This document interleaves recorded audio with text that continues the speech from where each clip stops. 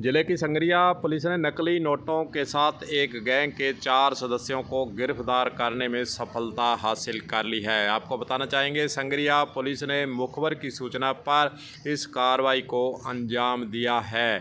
Police ने दो गाड़ियों को भी जब्त किया है। दरअसल, ये गैंग आम व्यक्तियों को नोट दोगुना करने के नाम पर ठगी का शिकार बनाते थे। इस गैंग में एक बर्खास्त होमगार्ड का जवान भी शामिल था वह भी पकड़ा गया जो नकली पुलिस बनकर नकली छापा मारने की बात कहकर पैसों को ठगता आ रहा था।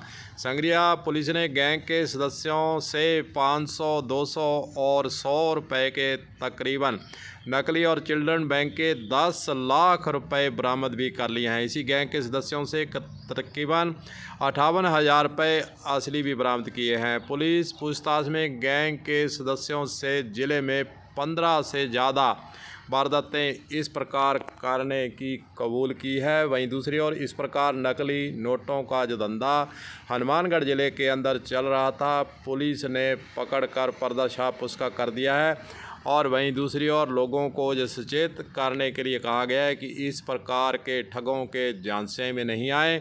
नकली नोट दुगने करने का झांसा तरह तरह से गैंग के सदस्य करते हैं व्हाट्सअप कॉल करते हैं। फिर ग्राहकों को अपने जाल में फंसा लेते हैं और जाल में जब ग्राहक फंस जाता है तो उसके साथ हो जाती है ठगी। चलिए सुनाते हैं आपको। पुलिस अधीक्षक हनुमानगढ़ का इस पूरे मसले पर क्या कहना है? किस प्रकार पुलिस ने नकली नोटों के ठगों को पकड़ने में सफलता हासिल की है? सुनिए।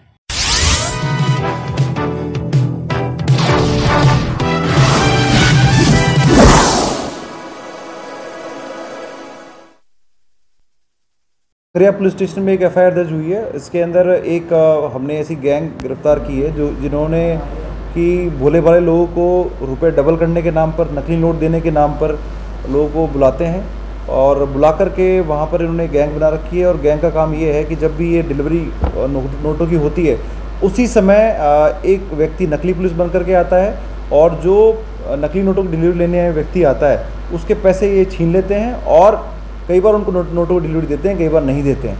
इस तरह की लगभग दस घटनाएँ इन्होंने हनुमानगढ़ ज़िले में की हैं। इनका जो मॉडल सुपरेंडी वो है कि वो वीडियो कॉल के माध्यम से लोगों को बताते हैं कि हम आपके पैसे डबल कर देंगे, आपको नकली नोट दे देंगे हु असली की तरह दिखने वाले नोट आपको हम दे देंगे।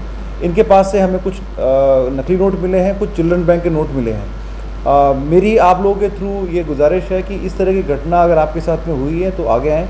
पुलिस आपका प्रकरण दर्ज करेगी और इन लोगों के खिलाफ कार्रवाई करेगी और आपकी जो अमाउंट गया है उसको रिकवर कराने का प्रयास करेगी। देखिए इसमें अभी हमने चार लोग गिरफ़्तार कर लिए हैं। एक व्यक्ति को अभी हमने डिटेन किया है। इसके अलावा जो बाकी लोग हैं वो भी हमने नामजद कर लिए हैं। इसमें हरियाणा में रहने वाले कुछ लोग हैं कुछ हनुमानगढ़ के हैं। उनके खिलाफ हम लगातार दबिश दे रहे हैं उनको भी हम अरेस्ट करें तो दोस्तों, अपने घर के अंदर पड़े नोटों को दुगने करने के चक्कर में ठगी का शिकार मत होइए, होश हवास रखिए। इस प्रकार के ठग आपको बातों में उलझाकर, ठगी कर रफू चक्कर हो जाते हैं। तो रहें सावधान और आम जनता को भी इसके लिए करें जागरूक। कलम न्यूज़ के लिए गुरुदेव सिंह सैनी की हनुमानगढ़ से रिपोर्ट।